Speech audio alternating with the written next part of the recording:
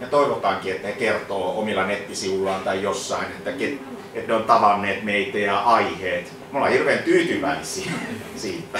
Aleksi, tota, sä oot ollut mukana tätä dataa keräämässä ja analysoimassa, mutta kansalaisjärjestön näkökulmasta, niin mitä, mitä tässä tavoitellaan oikeastaan? Siis, että tämähän on kuitenkin vain väline johonkin, eikö niin tämä lupausrekisteri ja avoimuus? Joo, siis mun mielestä se, se pohjimmainen ongelma on kuitenkin se, että ää, tällaisilla etuoikeutetuilla ryhmillä on mahdollisuus muuttaa niitä yhteisiä päätöksiä omaksi edukseen.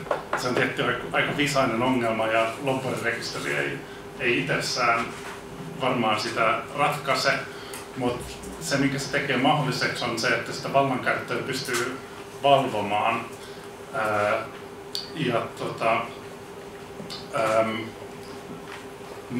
ää, se varmaan toimii pohjana sille, että niitä toimintatapoja ja näitä poliittisia instituutioita voi, voi muuttaa.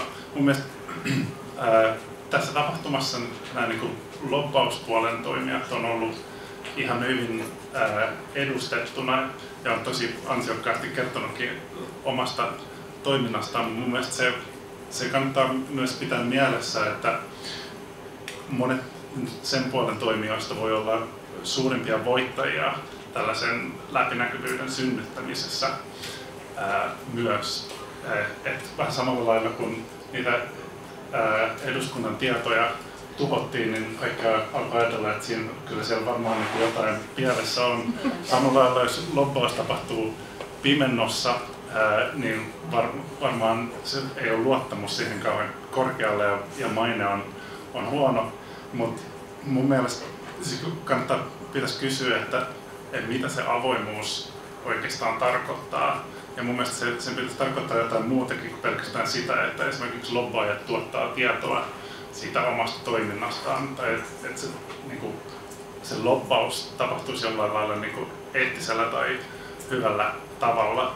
Mun mielestä se, se avoimuus pitäisi tarko- tarkoittaa sitä, että niitä vaikutusmahdollisuuksia myös avataan sellaisille ryhmille, joilla tällä hetkellä ei ole hirveän hyviä ää, resursseja. Että se, niin kuin, se lopullinen päämäärä on, on se, että niihin vaikutuksiin, ää, siis päätöksiä tehdessä kuullaan niitä kaikkia ryhmiä, joihin ne, ne päätökset vaikuttaa, eikä pelkästään niitä ryhmiä, joilla on vakiintunut asema ja jotka on, on varakkaita.